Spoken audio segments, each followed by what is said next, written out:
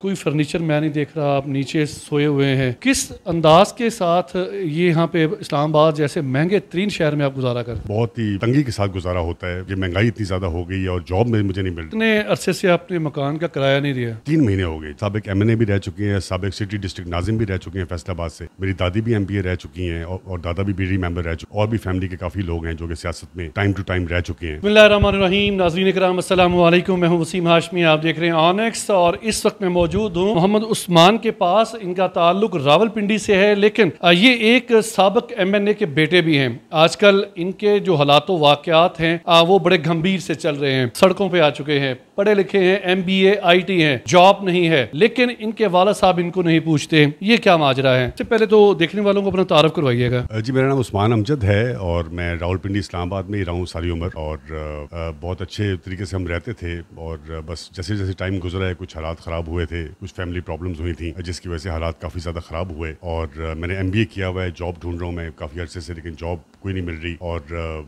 M B ए कब किया था आपने? मैंने जी 2001 में किया था फ्रॉम हमदर्द यूनिवर्सिटी इस्लामाबाद। थोड़ा सा बैकग्राउंड के बारे में बताइएगा अपनी फैमिली के बारे में। मतलब काफ़ी छोटा था जब मेरे पेरेंट्स की डाइवोर्स हो गई।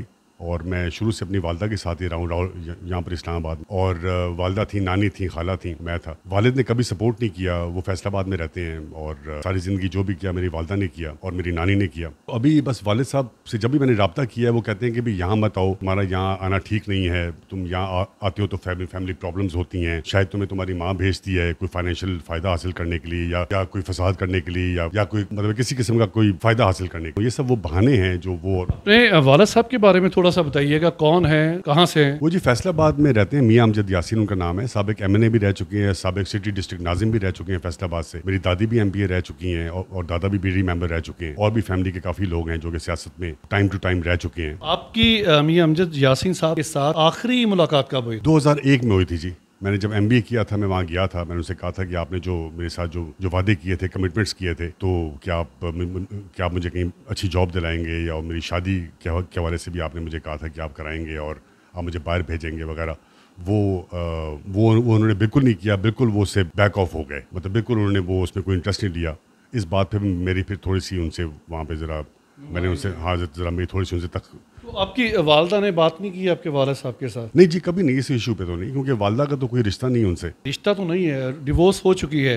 लेकिन आप बेटे तो हैं ना उनके तो इस सिलसिले में उन्होंने आपके वाले साहब से नहीं बात की कभी? नहीं वाले साहब से बात नहीं की लेकिन काफ़ी साल पहले एक दो दफ़ा वो मैंने उनको इनवाइट किया था तो वो मेरे घर आए थे थोड़ी देर के लिए। तो वहाँ पर वालदा और मेरे वालद का आमना सामना हुआ था। लेकिन बात उस तरह से वो मेरी वालदा करनी नहीं चाहती उस्मान, यहाँ पे आप जो रह रहे हैं, आपके हालात वाक़ जो है ना, वो बड़े नासाज से चल रहे हैं नाजक हैं। आ, कोई फर्नीचर मैं नहीं देख रहा आप नीचे सोए हुए हैं। किस अंदाज के साथ ये यहाँ पे इस्लामाबाद जैसे महँगे तरीन शहर में आप गुजारा कर बस जी वालदा को कुछ उनके भाई हैं वो थोड़े से पैसे भेजते हैं। आ, तो उससे हमारा बहुत ही आ, मतलब तंगी के साथ गुजारा होता है क्योंकि महँगाई इतनी ज़्यादा हो गई है और जॉब में मुझे नहीं मिल रही असल प्रॉब्लम ये है। इस वजह से बस यहाँ पे क्योंकि रेंट कम है ये सेक्टर जी ट्वेल्व है इस्लामाबाद का। रेंट यहाँ पे कम है। हाँ जी, मेहराबादी इसको कहते हैं। तो यहाँ रेंट ज़रा कम है गैस नहीं, यहाँ पर ये कुछ पानी का भी इशू होता है।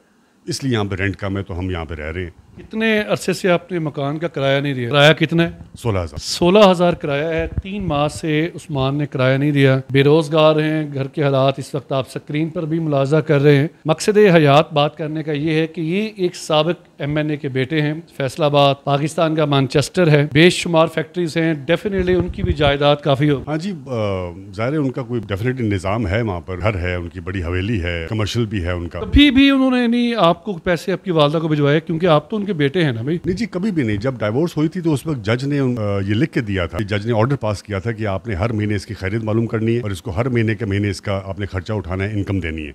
लेकिन कभी भी आ, मेरे वालिद ने खुद से मतलब कभी भी उन्होंने मुझे फ़ोन तक एक रुपए की मेरे ऊपर कोई कभी कोई खर्चा नहीं एमबीए किया हुआ है अपने आई में जॉबलेस है। इसकी क्या वजह है? जॉब आजकल मिलती भी है तो सेल्स की मिलती सेल्स की मैंने जॉब मैंने काफ़ी दफ़ा ट्राई किया लेकिन वो उसमें टारगेट होता है। टारगेट कहीं सेल्स में डिपॉजिट लाओ और ये इतना सेल करो तो फिर आप आई के हैं। और उसमें आप, आपको बिल्कुल वो कमीशन पे तो आप नहीं वो चल सकता मामला साथ तो मैं चाहता हूँ मुझे प्रॉपर कोई एचआर में या कहीं एडमिन की या अपना मैनेजमेंट की कोई जॉब मिले। सेल्स की जॉब मुझे हमेशा ऑफ़र हुई है जो कि मेरे से टारगेट वो पूरा नहीं होता और हालात ही ऐसे हैं कि लोग कोई इन्वेस्टमेंट कर नहीं रहे तो ये सूरत हाल है। आपकी वालदा बुज़ुर्ग खातून है उम्र है उनकी कोई लगभग सत्तर पचहत्तर बरस? सेवेंटी सेवेंटी सत्तर साल उनकी उम्र है आपकी खाला भी आपके साथ रहती हैं बीमार हैं दोनों। किस तरह फिर मैनेज कर लेते हैं इन साठ हज़ार रुपये जो आपके मामू आपको भिजवाते हैं? जी मैनेज नहीं हो पा रहा कुछ उधार चढ़ा हुआ है दुकानों का जो कि मैं राशन की सूरत में उनसे लेता हूँ फिर दे भी देता हूँ लेकिन अभी पिछले तीन महीने से तो बिल्कुल मामला जो है ना वो हाथ से बाहर हो गए और दवाइयाँ उनकी बहुत ज़रूरी हैं वो रेगुलर वो लेती हैं दवाइयाँ। और बस घर में मैं उनके साथ होता हूँ। अब प्रॉब्लम ये है कि मैं अगर जॉब ढूँढने के लिए या जॉब करने के लिए घर से बाहर जाऊँ तो मुझे इस बात की फ़िक्र होती है कि उनका क्या होगा पीछे। क्योंकि उनको खाना गर्म करके भी, भी मतलब मैं ही देता हूँ।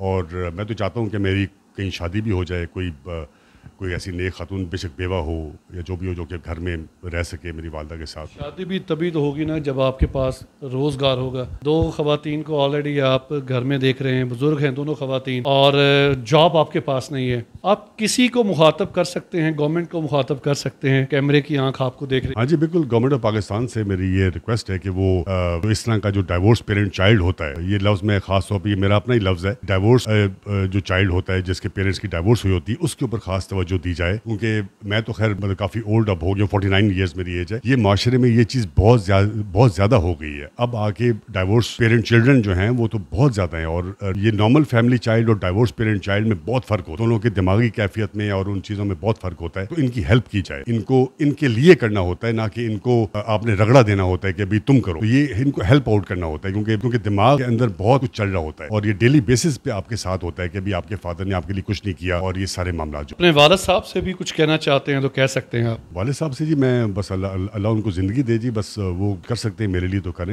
वरना अल्लाह ताला का कोई नेक बंदा काम आ जाए। कोई आपकी हेल्प करना चाहे तो आप मोबाइल नंबर बता सकते हाँ जी मैं अपना फ़ोन नंबर आपको दे दूँगा आप स्क्रीन पर चला दीजिएगा। और बिल्कुल जी ज़रूर ये तो बहुत अच्छी बात है कि अगर कोई शख्स ऐसी सूरत हाल में कि मैं टी वी पे आके ये रिक्वेस्ट कर रहा हूँ तो ज़रूर करना चाहिए। लोग हैं साहिब हैसियत हैं अल्लाह ने बहुत दिया लोगों को। और अल्लाह ने ये कुरान में कहा भी है कि आपने अपने इर्द गिर्द के लोगों के लिए करना है। ये सारे पैसे जो हैं, जो अल्लाह ने आपको दिए हैं, वो आपके लिए नहीं है। अज़ीज़ अकारब और इर्द गिर्द के लोगों के लिए आपने करना है। स्क्रीन पर आकर तरह नहीं कहता कि मेरी मदद की जाए।